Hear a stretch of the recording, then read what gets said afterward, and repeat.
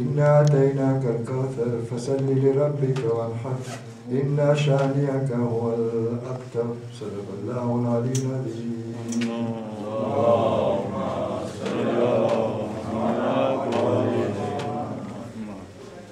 اللهم صل على محمد وآل محمد. اللهم صل على محمد وآل محمد. اللهم صل على محمد وآل محمد. بسم الله الرحمن الرحيم.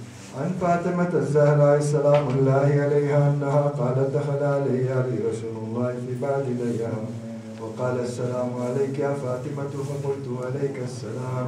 وقال إني أجد في بدني ضعفا فقلت له لك بالله يا بداه من الضعف فقال لي يا فاطمة ائتني بالكساء اليماني فغطوني به.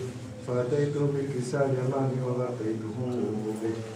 فصرت أنظر إليه وإذا وجهه تلالى نورا كأنه القمر في ليلة تمام وكمال فما كانت إلا ساعة وإذا بولد الحسن قد أقبل وقال السلام عليك يا أمه.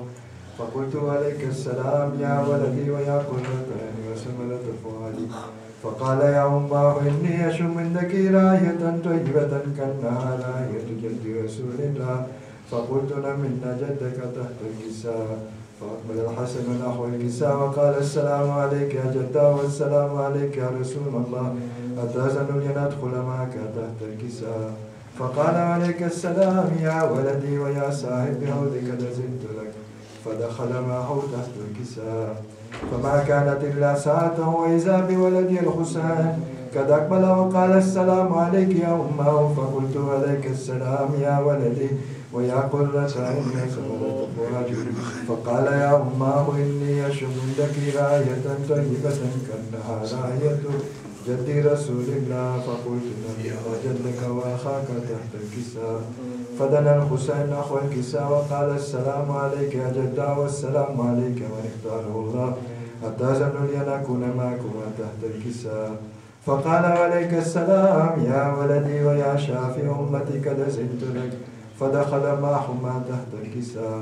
فأقبل عند ذلك أبو الحسن علي بن أبي طالب وقال السلام عليك يا بنت رسول الله. فقلت عليك السلام يا أبا الحسن يا أمير المؤمنين. فقال يا فاطمة إني أشم عندك راية طيبة كأنها راية جد رسول أخي وابن رسول الله. فقلت ها هو ما ودك تحت الكساء؟ فأقبل علي نحو الكساء وقال السلام عليك يا رسول الله. تأذنني أن أكون معكم تحت الكساء. فقال عليك السلام عليك السلام يا أخي ويا وسيء وخليفتي وصاحب لوائك لزلت لك. فدخل علي تحت الكساء. ثم أتيت نحو الكساء فقلت السلام عليك يا فتى والسلام عليك يا رسول الله. أتأذن لي أن أكون معكم تحت الكساء. فقال وعليك السلام يا بنتي ويا بسعتك لزلت لك فدخلت تحت الكساء. فلما اكتملنا جميعا تحت الكساء أخذ بي رسول الله بطرف الكساء وأما بيد اليمنى إلى السماء. وقال اللهم إن هؤلاء أهل بيتي وخاصتي وحامتي لحمهم لحمي ودمهم دمي يؤلمني ما يؤلمهم ويزنني ما يزنهم أنا حرب لمن حاربهم وسلم لمن سالمهم وعدو لمن عاداهم وهب لمن أحبهم. إنهم مني وأنا منهم. فاجعل صلواتك وبركاتك ورحمتك وغفرانك ورضوانك علي وعليهم. وأسخب عنهم الرجس وطهرهم تطهيرا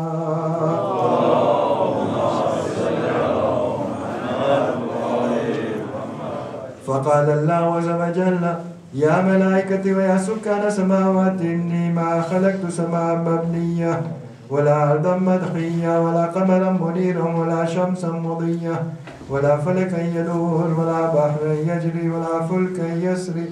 إلا في محبة هؤلاء الخمسة الذين هم تحت الكساء. فقال جبرائيل يا ربي من تحت الكساء؟ فقال الله عز وجل هم أهل بيت النبوة ومعدن الرسالة هم فاطمة وأبوها وبعلها وبنوها.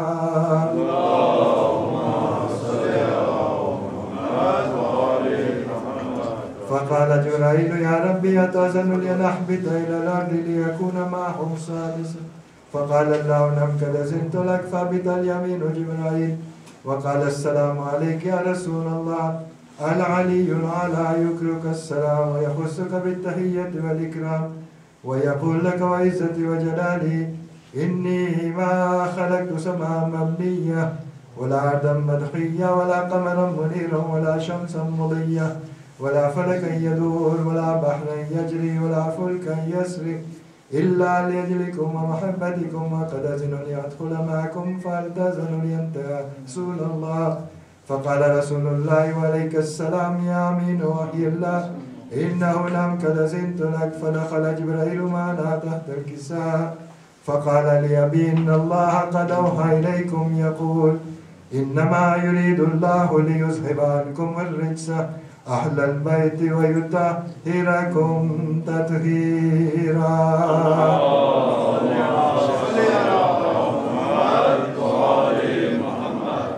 فقال علي لأبي يا رسول الله أخبرني ما لجلوسنا هذا تحت الكساء من الفضل عند الله. فقال النبي والذي بعثني من حق نبيا واصطفاني من رسالة نجيا. ما ذكر خبرنا هذا في محفل من محافل أهل الأرض. وفيه جمع من شيعتنا ومحبينا إلا ونزلت عليهم الرحمة وحفت بهم الملائكة واستغفرت لهم لا يتفرقوا. فقال عليزا والله فزنا وفاز شيعتنا ورب الكعبة. فقال أبي رسول الله يا علي والذي بعثني من حق نبيا واستفاني من رسالة نجيا. ما ذكر خبرنا هذا في محفل من محافل أهل الأرض. وفيه جمع من شيعتنا ومحبينا وفيه مهموم لله وفرج الله همه ولا مهموم إلا وكشف الله غمه ولا تعلم حاجة إلا وكذا الله حاجته